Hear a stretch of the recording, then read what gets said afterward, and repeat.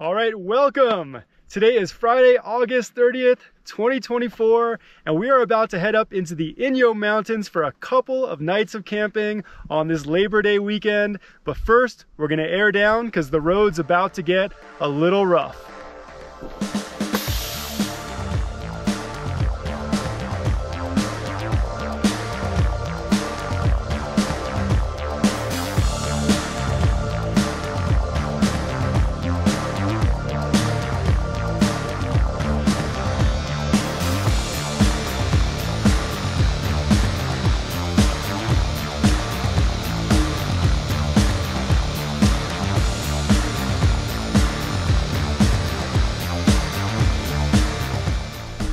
Right, so it is about 80 degrees and we are headed up to about 9,000 feet into a juniper pinyon pine forest. This area is traditionally a pinyon pine nut collecting area by the Great Basin tribes. This is going to be an awesome trip. So this is a gorgeous trail here that offers up some pretty decent challenges for our Jeep Wrangler. You definitely want to take it real slow and just enjoy the gorgeous scenery.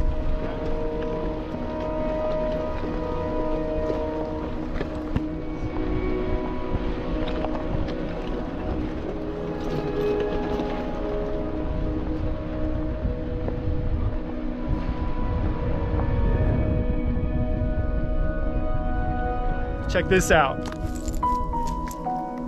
Over there we have the Sierra Crest with all the big 14ers. What an absolutely gorgeous view from up here in the Inyo Mountains.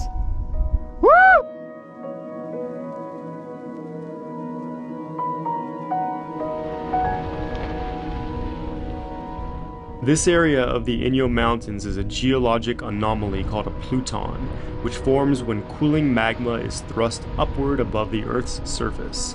Here in this otherwise flat region, the igneous rock has solidified into strange pyramid like formations that make the landscape seem otherworldly. Beautiful!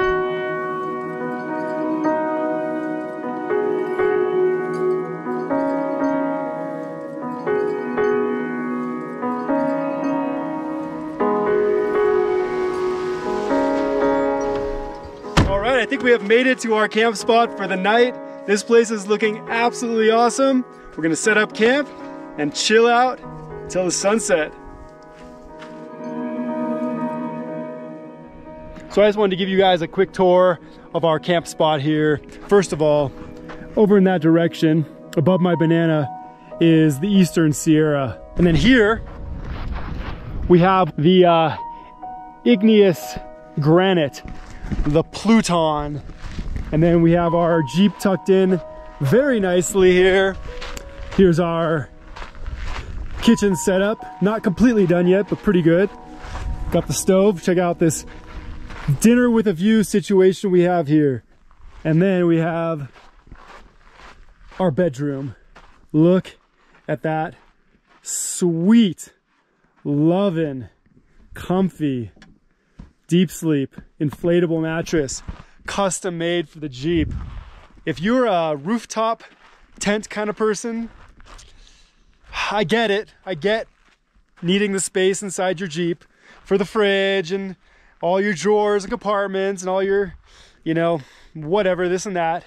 But I'm gonna say true luxury when you're Jeeping is the deep sleep. And then over here, we have our wash station.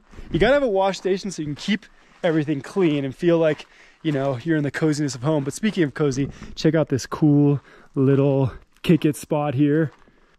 Whew. Really special place. It's been a while since I've shot my rifle, maybe about six months, and uh, anything worth keeping needs a little action once in a while. So we're gonna take a few shots. I'm gonna tell you the story of this rifle. Let's go get it.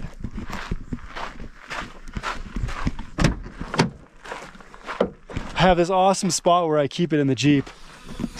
Oh my gosh! Someone's already taken it down. All right, so we got the target set up. maybe about 20 yards away. I want to tell you a little bit about this rifle. This is not just any old 22. In fact, this is a very special family heirloom. This 22 is a hand-me-down from my dad, who was gifted this by his dad when he was about 13 years old. And they would take this rifle out to the desert, much like we do. You could see it's a family tradition and do some target practice. This is a rifle that knows the desert well, belongs in the desert, loves the desert, and is in the desert once again.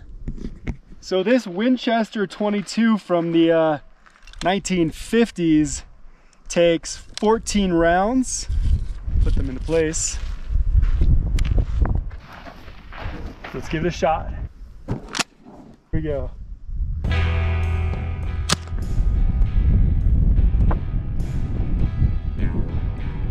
let's take a look at the damage. Whoo, yeah! Look at that. I'd say that ripped a hole right through red.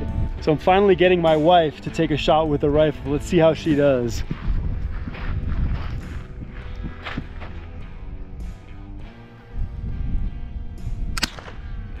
Pretty good.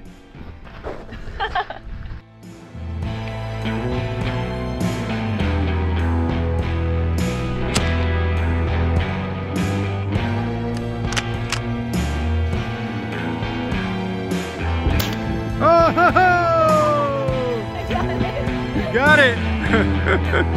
You did it! so I know you can see this on camera, but I just wanted to point out how insanely pretty this place is.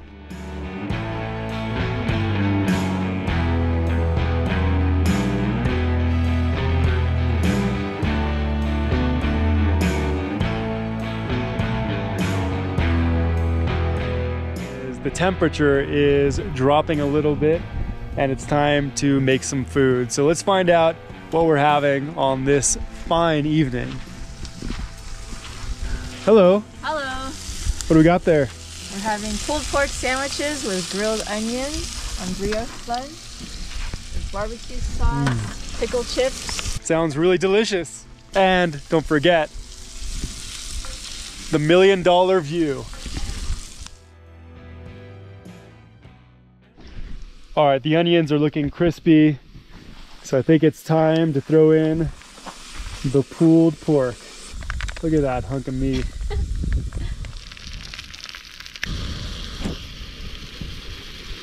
Pile some of this pulled pork right on top.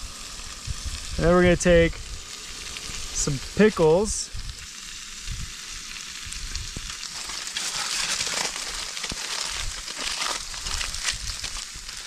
Bon appetit.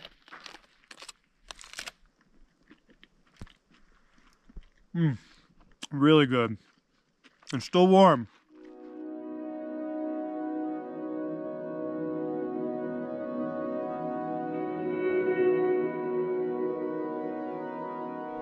All right, good morning. Uh, before we went to sleep, we discovered that our campsite was completely infested by the local population of mice. And they came out with a vengeance seeking all of the scraps. And then around midnight, we woke up and looked at the sky and there was a pink glow floating over the horizon. And even though it wasn't very strong, we saw the northern lights once again. It was actually one of the darkest night skies we have ever seen. This spot that we're at here is an ancestral pinyon pine nut picking ground for the people of the Great Basin tribes. And we can even kind of see over here the route that they would have taken from the Owens Valley below.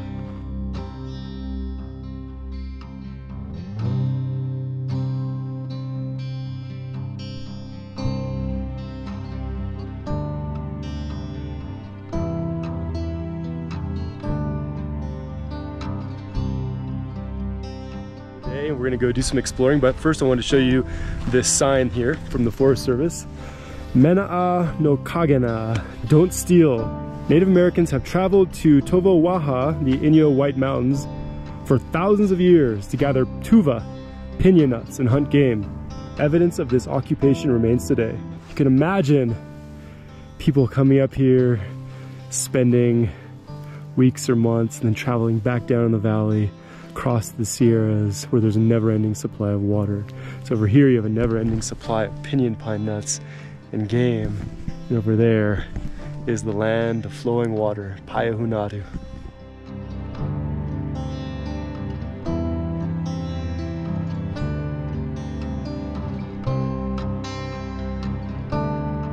Interesting, there's a really well-defined game trail that leads this direction. So we'll follow that and see what we find. Whoa, what could that be right there? Check out that shining piece of metal. Is that a relic from the old ranching days? Uh, maybe a crashed UFO? Let's check it out. Very weird. What the heck are these things? They're definitely saucers, but are they flying saucers? So unfortunately, this is not a UFO crash site. In fact, these dishes here are all meant to gather rainwater and that channels the rainwater into this holding tank, which then channels the water into this little feed here. And if you look over here, there is a trail camera, wildlife camera. So obviously uh, this is set up by the Forest Service to see who is living out here. Wow, how cool that would be to know the animals that are coming by here uh, in the nighttime and the daytime, of course.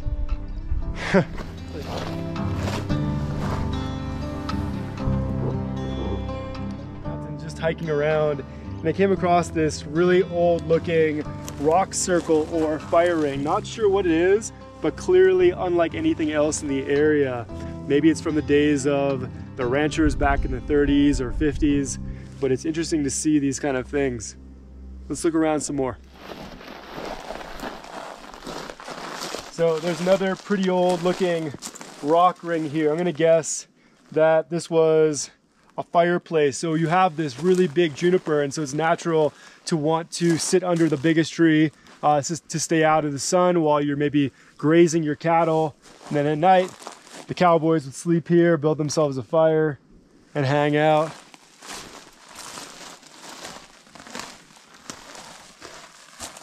Oh, check this out.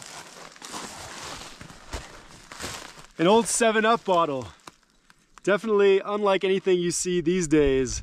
No refill, I don't, I don't think that's something that you see. It does say recyclable. We have to look up to see how old this 7-Up bottle is, but clearly someone was hanging out up here and enjoyed themselves a nice 7-Up on a hot day and left their bottle here for us to find many, many years later.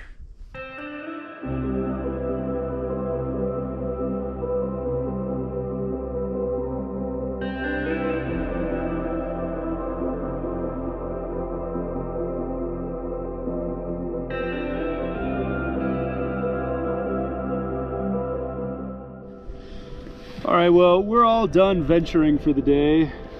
So now it's time to chill in the shade, enjoy the wind, and do a little drawing. And this is a papoose.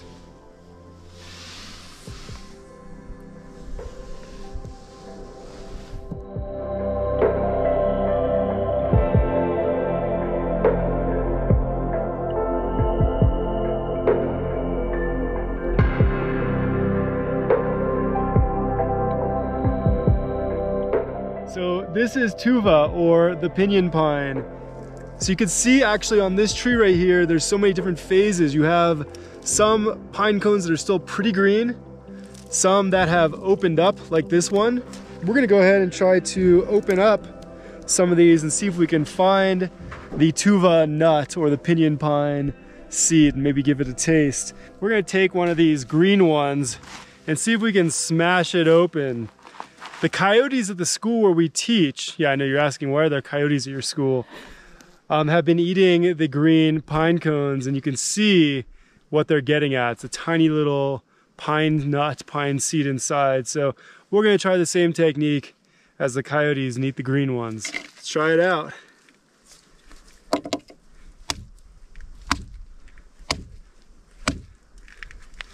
I see them. So here's our pine cone opening up, but check out those beauties. What you could do is collect a bag of these, stick them in a sack, bring them home, let them dry out, and then do the same kind of technique where you open it up. And by that point, the pine nuts inside should be pretty ready to go. Really cool. Look at all those. So if you're ever stuck out here in the wilderness, this would be a life-saving resource. Give it a try. Let's crack it open. Open it up.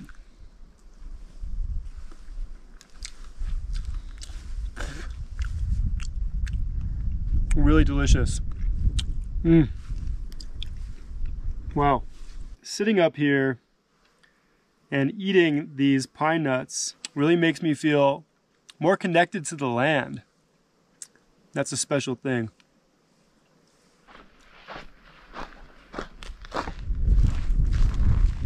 Oh, check it out. Piece of obsidian. We're on their trail now. The best way to wash the sap off your hands is take a little dirt and just rub. Your hands will be dirty, but they won't be sticky. And if that doesn't work, you can drizzle a little olive oil on your fingers and rub that and then wash it off and no more stick. Alrighty, it's dinner time, so let's see what's in the pot here.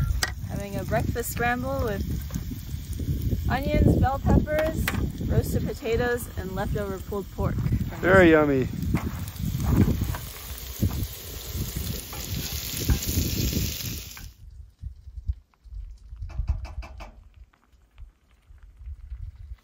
All right, the food is coming along quite nicely.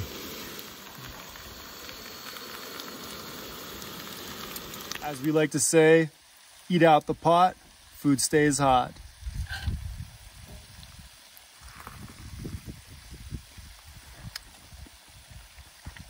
Hmm. After a good day, that right there will make you sleep real well.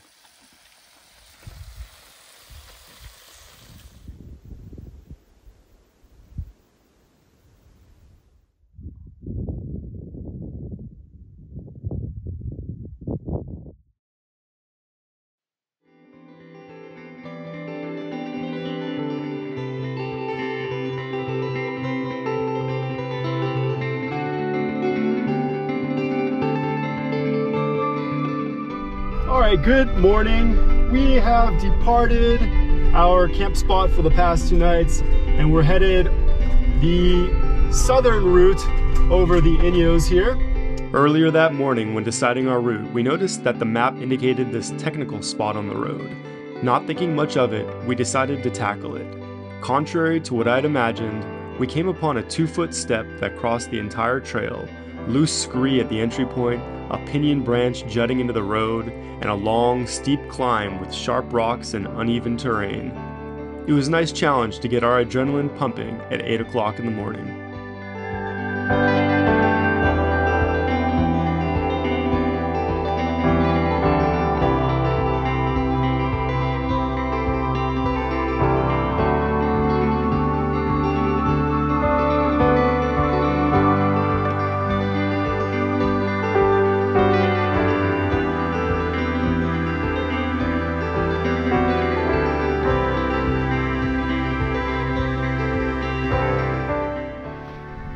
I'm gonna be completely 100% honest here. That part back there was completely nuts. And it was made way worse by not being able to throw my Jeep into four low. I've used four low before, but I'm not sure if I wasn't going fast enough or what the situation was. but that was really frustrating. So compounded with the difficulty of that tight turn, compounded with the pine tree that was sticking right out uh, on the edge of that turn, combined with that fairly large step they had to get up, combined with the steep hill, combined with all those rocks, um, combined with almost going back uh, as we were backing up um, and like having a tire off the road and then maybe getting stuck there. that was a lot of factors that uh, raised the anxiety level.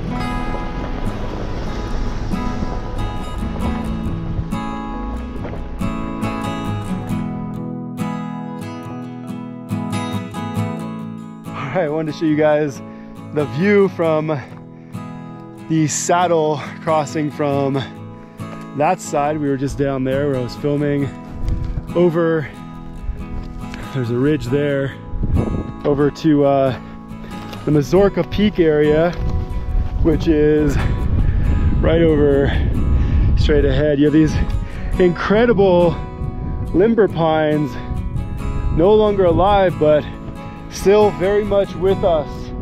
These guys right here are some of the oldest living trees on earth next to the ancient bristlecones, which are popular in the White Mountains area.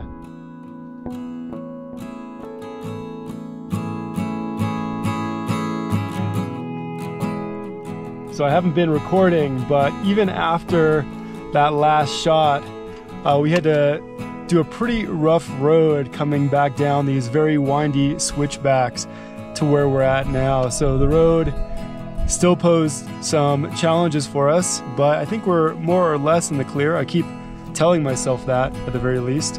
And uh, I think we're gonna go celebrate up at Mazourka Peak and have some food and take a deep breath and then head all the way back down the canyon.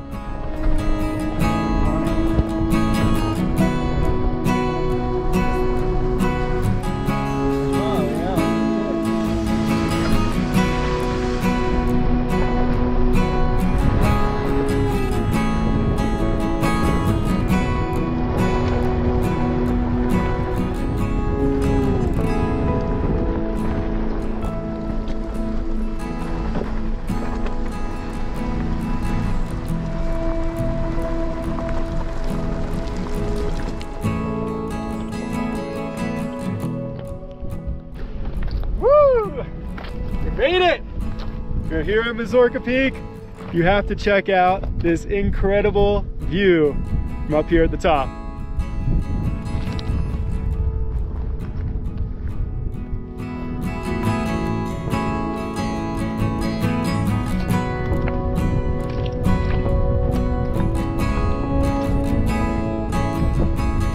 So you can see where we camped last night straight ahead where there's that clearing. We camped right on the edge of that clearing there. And then we drove through these mountains all around and all the way up this peak here. So it has been a very adventurous morning. How are you feeling? Very good. Both feeling very good, very excited to be here. The top of the world. And this is going to be a very well-earned early morning or early lunch sandwich.